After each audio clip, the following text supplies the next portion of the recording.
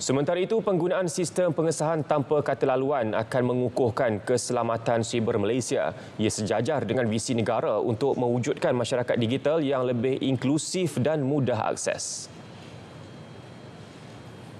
Kaedah tanpa kata laluan seperti pengesahan biometrik, token perkakasan dan kod laluan sekali menawarkan alternatif kukuh dan lebih sukar untuk terjejas berbanding perakuan tradisional.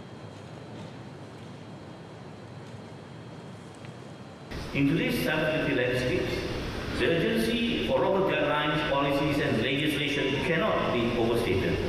As our dependence on critical information infrastructure grows, it is imperative to implement comprehensive measures to manage cybersecurity incidents effectively